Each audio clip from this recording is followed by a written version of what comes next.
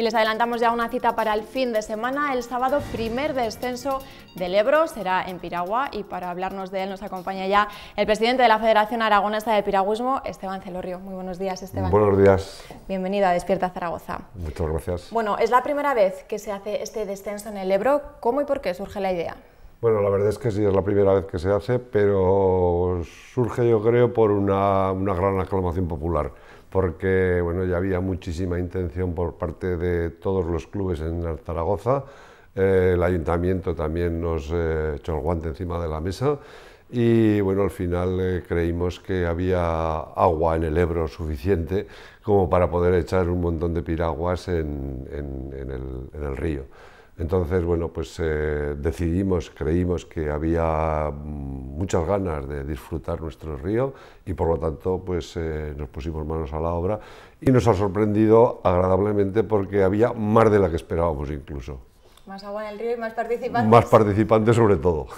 ¿Cuántas personas han inscrito hasta ahora? Pues en este momento tenemos creo que 250 personas en el descenso popular y yo calculo que unas 200 en el descenso de competición, porque hay que recordar también que vamos a hacer el Campeonato de Aragón de Maratón, que es un, como bien dice, un campeonato de Aragón, pero es open, abierto a otras comunidades autónomas, clubes de otras comunidades autónomas, y entonces, bueno, pues van a venir gente de Madrid, gente de Navarra, La Rioja, Cataluña, es decir, va a ser un nutrido grupo de piragüistas también profesionales es muy espectacular y os recomiendo que, bueno, es muy bonito, mucho más bonito bajar el río, pero también va a ser espectacular estar desde las orillas viéndolo, porque los piragüistas eh, que hacen el campeonato de Aragón pues tienen incluso que portear en la zona del Náutico, bajarse de la piragua, ir corriendo como unos 100 metros aguas abajo del puente de piedra. Y verán a los piragüistas eh, pues en su pleno esfuerzo en la zona esa, pero a 3 metros. Eso en cuanto al descenso profesional, ¿en qué va a consistir el descenso popular? Bueno, pues inicialmente es esto, o sea, es un descenso popular que no se requiere ningún conocimiento por parte de los que participan, eh, puede participar cualquiera sin tener ni, ni, la más remota idea de lo que es una piragua. Eh, evidentemente, antes de salir se van a dar unas nociones muy básicas del manejo de la pala, porque bueno, pues es un poquito, puede ser un poquito más complicado, pero eh, es un descenso muy facilito, o sea, no tiene ningún problema. Para que nos hagamos un poco de idea, mm, y la comparativa sería pues el descenso del Sella, estas piraguas que vamos a poner aquí en el descenso son las mismas que se utilizan en el descenso del Sella popular, el que bajan más o menos ya calculo con unas eh, mil piraguas diarias, mil piraguas diarias, o sea que eh, quiero manifestar es la seguridad y la facilidad con la que se puede manejar este tipo de embarcaciones y realmente lo que es importante es lo que se puede disfrutar del río a lo largo de todo este descenso, que es cortito porque no dejan de ser 8 o 9 kilómetros, pero eh, bueno, mm, yo siempre el, el, sonido que se me ha quedado cuando la gente se ha montado en una piragua, qué diferente es Zaragoza verla desde el río a verla desde la orilla. Y yo lo que quiero acercar a todos los zaragozanos es esto. Eso que además es algo que siempre destacan también, lo destacan ustedes, los piragüistas desde la Federación Aragonesa de Piragüismo y también las personas que han bajado tanto por o en barco también, que se puede hacer en el Ebro.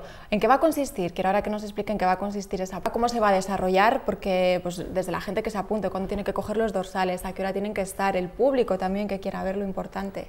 Sí, bueno, en un principio inicialmente tienen que inscribirse, que hemos, eh, teníamos el plazo de inscripción inicialmente hasta el día 6, eh, debido a la demanda que hemos tenido, bueno, ya sabemos que los españoles un poco lo dejamos todo para última hora, entonces, bueno, pues debido a la demanda, a la demanda de última hora, pues hemos ampliado el plazo hasta el día 11, eh, entonces se les va a citar el viernes, eh, viernes 13, en el azul del embarcadero del azul para repartir allí unos numeritos para que las personas que vayan a hacer el descenso el día el sábado pues sepan ya su adjudicación de embarcación.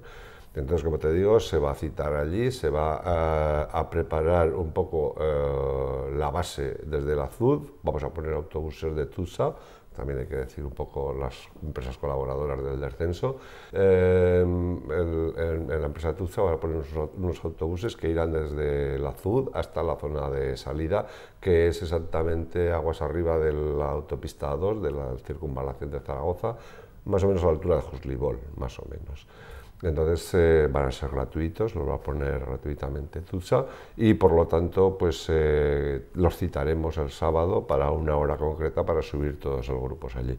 Una vez allí tendremos eh, todas las embarcaciones preparadas del descenso popular, los profesionales o los que van a competir en el, en el Campeonato de Aragón pues ya irán con sus embarcaciones y con sus equipos, no tienen menos problema y eh, lo que son el descenso popular, ya eh, una vez eh, que estén allí todos concentrados, se dará la salida del descenso del Campeonato de Aragón y posteriormente, para no interrumpir la competición, se dará la salida al, descenso popular.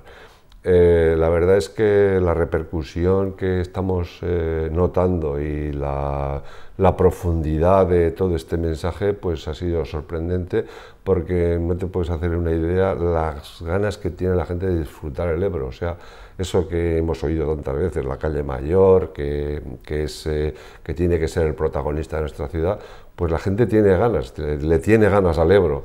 Entonces, bueno, pues nosotros eh, creemos que tenemos una, una buena labor, eh, enseñar nuestro río, y además es que creo que, que también puede ser un escenario deportivo, como por ejemplo puede ser un pabellón, o puede ser una cancha, o como puede ser un campo de fútbol. Es difícil esa misión de enseñar el Ebro, que la gente lo conozca y también que lo disfrute y lo utilice para esas actividades deportivas. Pues mira, yo creo que sí, pero es por eh, dos, eh, dos, tradiciones o dos historias eh, bien diferenciadas. El Ebro mm, ha creado dos, dos, sentimientos en esta ciudad. la primera y conocida por todos es la de miedo. Miedo, además, en, algunas ocasiones infundado Evidentemente, pues todos, eh, todos nos tenemos en la retina ahí, o en el oído, mejor dicho, cuando se cayó el autobús. Entonces yo estoy un poco hartito ya del autobús, el autobús pasó hace no sé cuánto tiempo y fue un accidente pues, de la época pues, de los 70, creo. Entonces, eh, no, el Ebro hay que decir que no es un río peligroso, no es un río peligroso. Evidentemente, y el comparativo lo tenemos, que si tú te vas a escalar el Everest con unas zapatillas de clavos, pues tienes muchas posibilidades de tener un accidente. Pues esto es lo mismo. Si tú te pones a remar o te pones a disfrutar el Ebro con una crecida de 7 metros, pues tienes posibilidades de que tengas un accidente.